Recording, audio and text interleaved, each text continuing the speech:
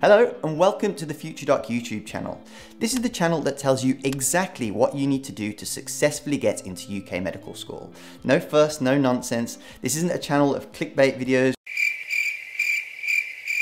where I'm going to tell you about what I've had for breakfast or my bedtime routines.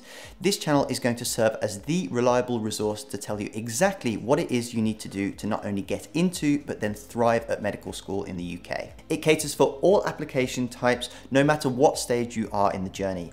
And we release videos every week that are relevant to that particular time of year for the cycle, so you might want to consider subscribing and turning on notifications to keep your finger on the pulse. And in a moment, I'm going to show you all the key videos and playlists that you might want to check out depending on what stage of the journey you're currently at.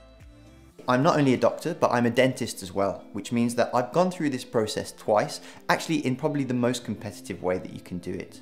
Not only that, but I'm a medical school admissions advisor, which means that I've sat on interview panels and I've also been running a company for the last 10 years that's been helping students get into their first choice medical school at the first attempt. All the videos, as you can see on this channel, are done by me, so you can rest assured that all the information in them is reliable and not just done by a random medical student. So you might be wondering where to start to get the most out of the videos on the FutureDoc channel. Depending on where you are in the application process, we have videos and playlists specific to each stage of the application.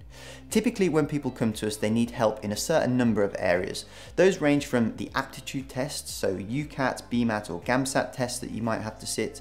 This, I would probably recommend that you start with my UCAT playlist here, which has had the most comments about how helpful it was and people talking about how it helped them get a really high score in the UCAT test.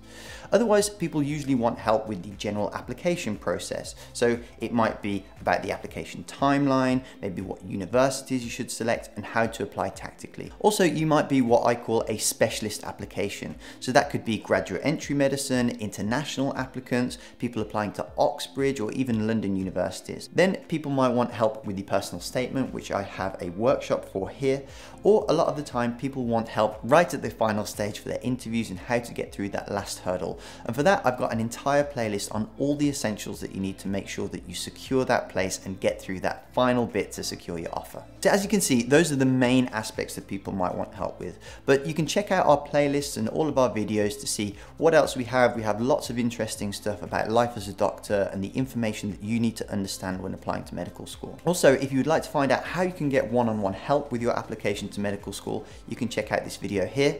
Otherwise, I'd just recommend that you have a play on the channel, look at some of the videos, check out the playlist, and just generally enjoy some of the information that's there.